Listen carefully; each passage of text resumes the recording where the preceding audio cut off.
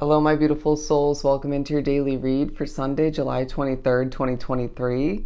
I hope you're doing well. We're going to begin and pull from the Prism Oracle deck, um, as I almost forgot the name of it. But I got a download before beginning the reading as I was just sitting here um, waiting for noise to calm down. The message was It's smart to be you. That's where the truth lies. It's smart to be you. That's where the truth lies. And I took a second to ponder upon it. And if you were to do the same, there's more than one um, way that you can take that message. A lot can come from it. So let's begin. What do we have for Sunday? For Sunday, you shine is now what I'm hearing. You shine. Consciousness. All right. Being very much aware of yourself, how you're affecting other people or one person in particular, situation uh, very much uh, observant uh, of your surroundings. I do feel like your mental state is taking a highlight. Things going from minuscule to uh, too large, or just larger in a positive sense, taking a highlight, but as well um, the ability to minimalize things to your advantage, or even to benefit a situation. Um, or to accomplish something. So that's still your advantage to continue for Sunday. Your state of realization is what I just heard. Oh, I need to take a deep breath because that annoying car going by did um, affect my energy. Okay, anger. Why is this coming out? Is this more so past energy energy for you? Is this someone else in your midst or that you're observing? I do sense that this anger is misplaced or just needing to be wiped away. All right. Um, but I do sense that all the meanwhile, you're doing a bit of reflection. Now, these could definitely tie together for you, but either way, this reflection um, is helping you see things differently. If you look at this, I'm kind of seeing it as um, goggles or um, glasses, but I just feel all the meanwhile there's a focus on your voice. It kind of looks like a, um, a microphone uh, now that I'm looking at it. And I really do feel like it is a day where you, energy wise, for the most part, are feeling quite passionate and peaceful. I got that at the split deck when I was doing some pre shuffling, but um, with passion at the bottom of the deck.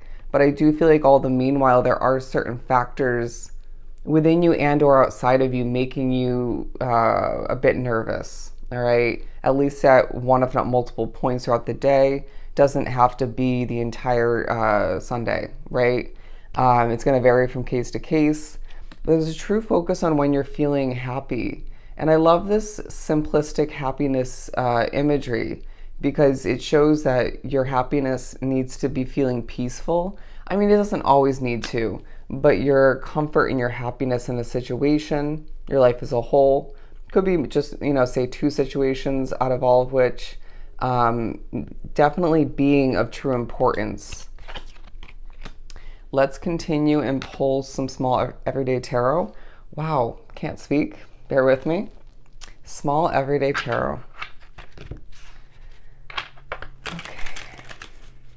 When you know you know. For sunday to continue Doing an aggressive flop out. The High Priestess and the Lovers. Not surprised to get the High Priestess after giving you the message of when you know you know. A very intuitive day, a day where your intuition is pairing quite nicely with your um, spiritual side, your spiritual gift or gifts, uh, your connection to that realm. I'm getting as well for some, it's more so the uh, spiritual guidance you have and support presence um, backing you up or more so um, confirming what you felt intuitively, um, basically pushing you to always remind yourself to trust that intuition. You're not feeling something for no reason. But um, the lover's talking about how you decided to be where you are wrapped up with what you have at hand. Could be more than one way, of course, um, at one point for a reason, because it was meant to be, at least for the time um, it has its benefits, or it just uh, is, again, what you wanted um, or needed more so, or be, maybe a combination of both. But you can't help but think about how did I choose the right thing? Spirit saying, is that really truly important for you to reflect upon at this time, right? Um, for some, maybe to a certain extent, but if you do end up reflecting upon it, don't let that get out of hand to the point of overthinking. There's a chance for you to let your mind get out of control in a moment of silence or just uh, even chaos. But I feel like you're going to be very much watched. Now, this is watched in general, right? Um, for the good or for the bad, but also looked after, guided, and protected when it comes to a choice that you can't help but think about for the near future. Um, the Magician. It's a day where you're manifesting justice, some of which this is financial, others of which this is an adjustment in a situation, um, more of what you need, however that ends up um, appearing for you. There's kind of a conquering vibe, like, I just want to get this done. All right, I just want to make this happen. I want to get closer. Um, having at certain points throughout the day, a bit of an angelic presence, all right, due to your spirituality, just your peaceful way of being, the way you approach this and that, accomplish this and that, communicate. Um, but then there are other points where you get this spurt of energy, um, this passion coming to be. But it, Spirit's saying, even when that comes to be, um, you're being perceived still as peaceful, okay? Especially in comparison to, I want to say, whoever they were just talking to um, thinking about who surrounds you. Um, I'm hearing wrapped up in that situation. But all the meanwhile, I feel like there's somebody around you who is very heartbroken going through it. Um, I wouldn't be surprised if some of which are thinking about or experiencing somebody with a combination of these two. You know, sometimes when you're going through this, it can come with this or just people cope with things differently. Um, but the Wheel of Fortune because I feel like things are turning in your favor. Slowly but surely, bit by bit, it doesn't feel like these huge strides are happening, right? And I know you probably desire that, or most likely do, um, but it feels like it's like the wheel is just kind of like a clock churning bit by bit, you know, minute by minute. Um, they're saying hour by hour in your favor. And so if you think about that in a larger sense, you're getting closer. You're making progress. All right. Um, fortune is on the other side, is what I'm hearing. But there's also negatives on the other side.